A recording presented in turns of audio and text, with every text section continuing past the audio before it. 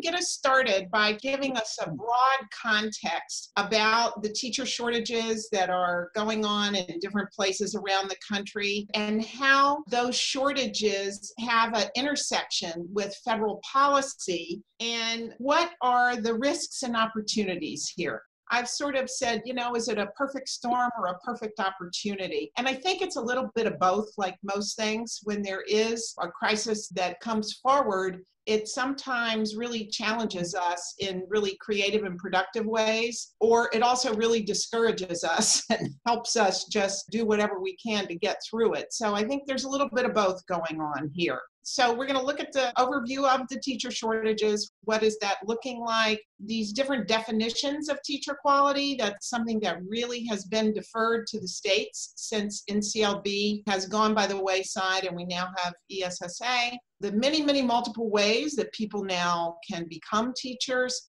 and how the changes in federal policy intersect there.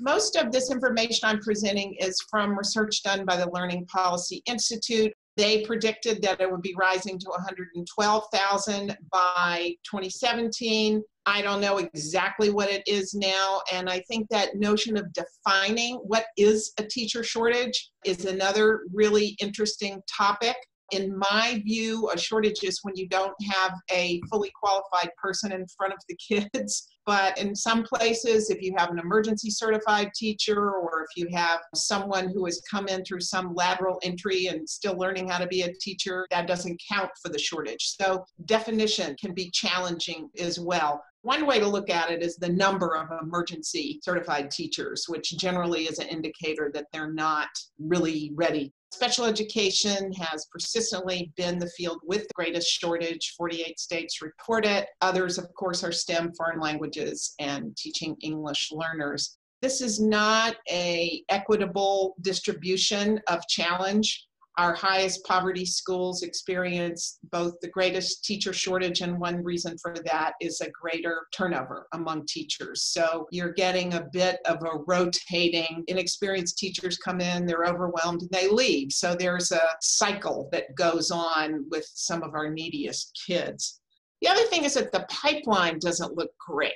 Enrollment in teacher prep programs is down 35% in the last five years. It's down for both alternate routes and traditional schools of education. We do know that teachers who are prepared through alternate works with less coursework and less clinical preparation, the quick fix kind of programs are 25% more likely to leave their schools and the profession than those who are well prepared. So preparation makes a difference in terms of teacher turnover. And we know that teacher turnover has a negative effect on student achievement. So these are all interrelated and quite complex when you go to try to intervene.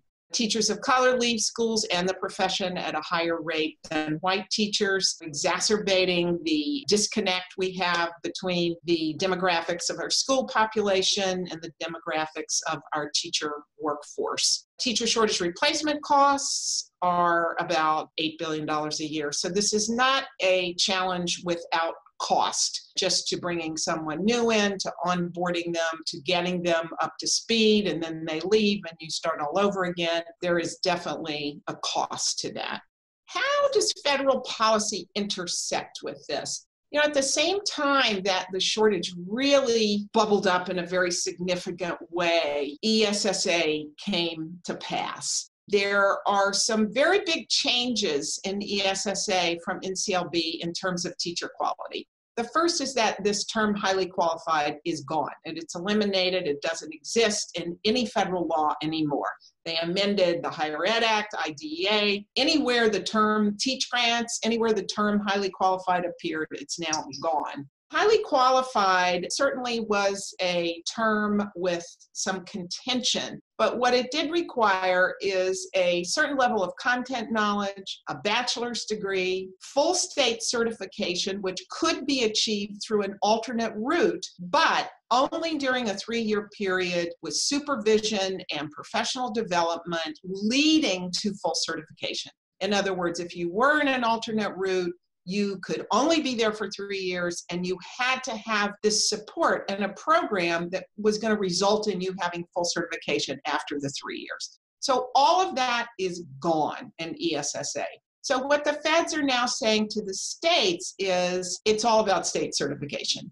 You decide what state certification means you set the bar and whatever you say goes. So that is both a risk and an opportunity. When states are confronted with some pretty serious shortages and when there is an opportunity to significantly lower standards to get bodies into classrooms, that can certainly be a way to go. Understandably, you got to open schools, so you need a person there.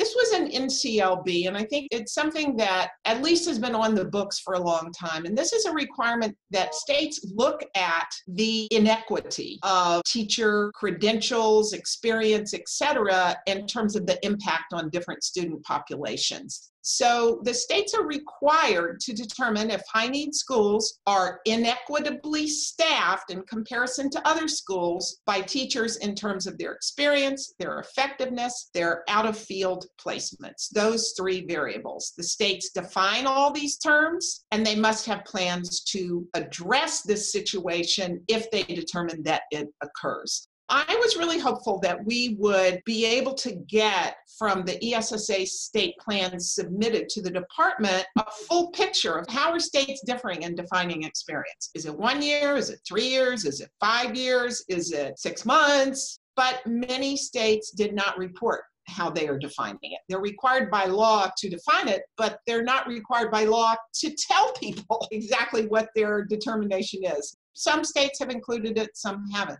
The same is true for effectiveness. What does that mean? In some states, it's very much tied to the teacher evaluation plans. In others, it's tied to preparation. That again varies. Same with out of field placement.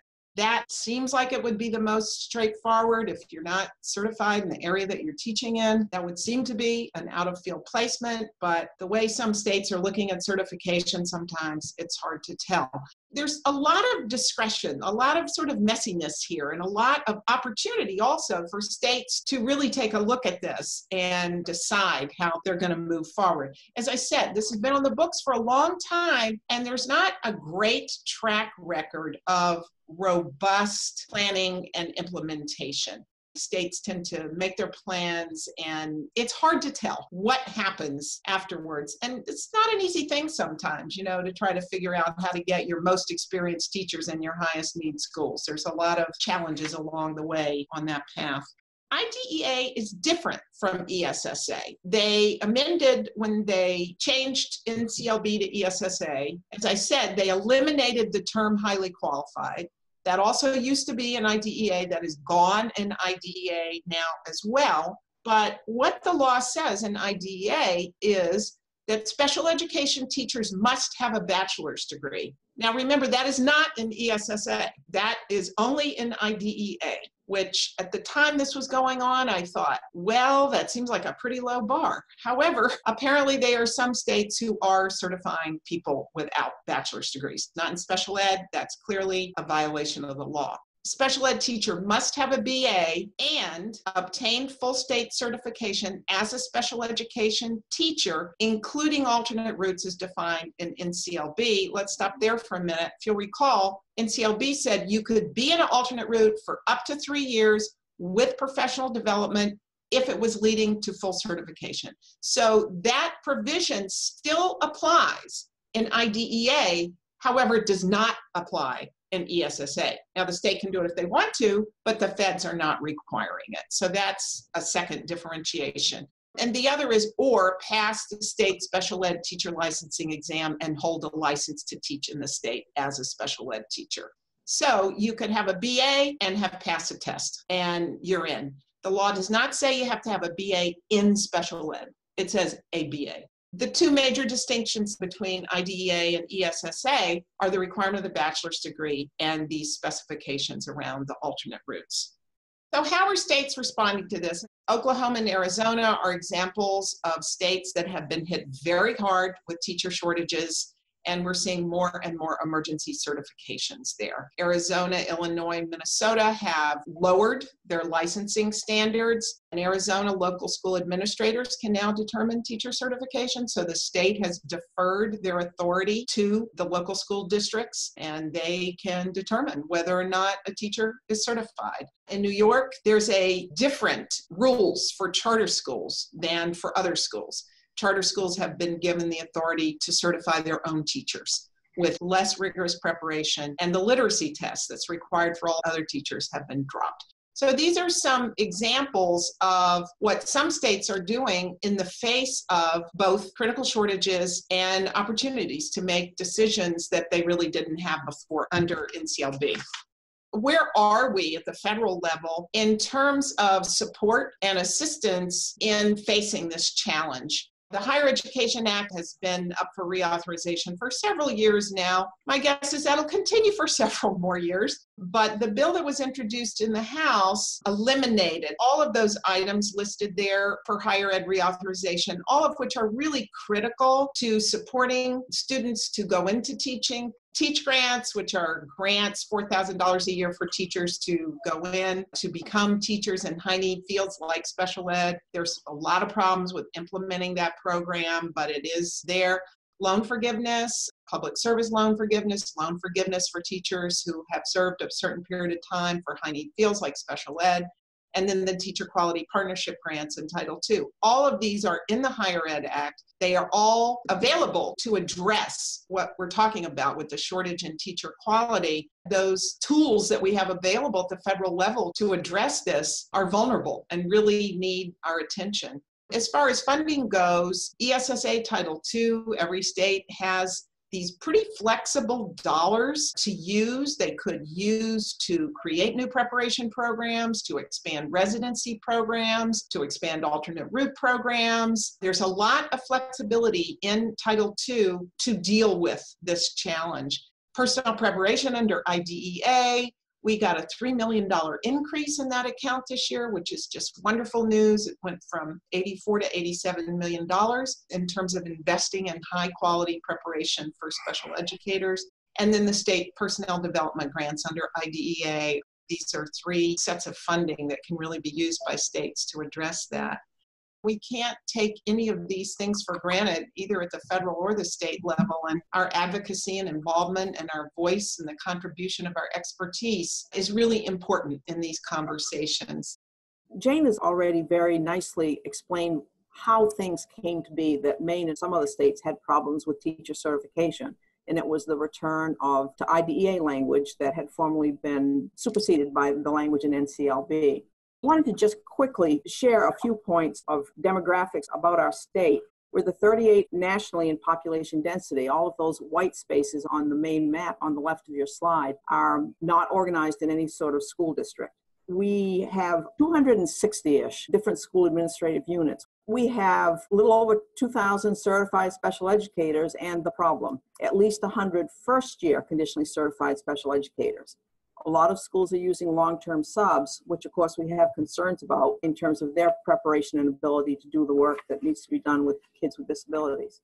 We have three training programs offering a bachelor's degree. We also have three institutions offering special education graduate programs. A lot of the courses are offered online, which helps many people, of course, because it's more accessible. Then we have two post baccalaureate certification programs at various universities. Most are entirely online when we realized that we were going to have to check no on assurance 14 i began working with various people in terms of developing a plan. One of the things that we had to take into consideration was language that needed to be changed was in rule but we had to change statutory language first in order to authorize the changes. So that required me after we realized what our timeline needed to be to ask for one year delay in compliance from osep which they were very willing to grant us. But then I immediately began approaching the University of Maine system the shell for what we wanted to do was developed with and through the University of Maine faculty. We had some experience doing this work through a SPDIG grant that we had received a, few years ago. One of the things that we needed to do to be in compliance was to move to only two levels of certification. Maine had a complicated certification system where a teacher was provisionally certified for the first three years in the classroom and then moved to professional There were transitional, there was conditional, there was waivers, and huge number of different certification types that people had to deal with. Now, there are two types. Either you're professionally certified, which means fully certified, or you're conditionally certified. The rule that we've developed offers more guidance regarding coursework that's required and the number of semester hours. But we also have put in place, in compliance with the federal requirements, that the conditional certification is limited to three years. And during that three year period, now, according to our plan, teachers have to complete coursework that they would have to complete regardless of whether they were in this program or not, pass the praxis for content knowledge, and participate in intensive mentoring for the first year of teaching. Just a list of things that we've had to think about as we've worked through this is the intersection of the teacher shortage and the teacher quality. Maine is one of the few states that is subject to the windfall provision in that we have a state retirement system, but it does not talk to people who want to come into the state to teach that might help our teacher shortage because if they're already in Social Security or some other system, it doesn't work well in terms of the accumulation of time and benefits. So that's a barrier to teachers coming in other states to help teach. We have had to rely a lot on long term substitutes, but by state rule, the amount of time that a classroom can have a long term substitute is limited. And so you have a dilemma of long term substitutes rotating through a classroom, which is, in my opinion, worse than having a long term substitute in there for the entire year.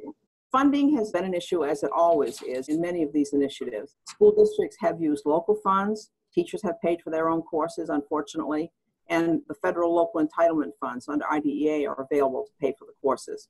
We've also had to wrestle with the issue of mentor pay, even though our intent is to return the responsibility for this entire process to the local school district because we believe that's where it belongs. But right now, it's a token payment. We've had huge numbers of people volunteer to be mentors, and we only pay them $500 per school year. So there's a lot of interest in the field in terms of supporting our young teachers who need the support in special education classrooms. The course tuition fees that are generated pay for the instructor. The Alternative Certification Mentoring Program is Maine's response to this requirement. It applies to just four certification endorsements in Maine the teacher of children with disabilities, as contrasted with the teacher of severely impaired students. There are only two distinctions in the special education certification in Maine. Basically, most people use the 282 certificate. And then we've got teachers of visually impaired and teachers of the deaf. And it affects all the employment situations that are listed on the slide the infrastructure was the next thing that we took on. And what I decided to do was to fund a position at the University of Maine to develop and revise, recruit mentors, coordinate the project, develop the infrastructure. And the person that we employed to do that is Valerie Smith. So the program is designed to provide a lot of support during the first year that the conditionally certified teacher is teaching. They take a course, it's entirely online, and right now we're doing a little bit of a redesign. We're finishing the first semester piloting it. We'll have 10 seminars that are live, and the rest of it will be asynchronous work.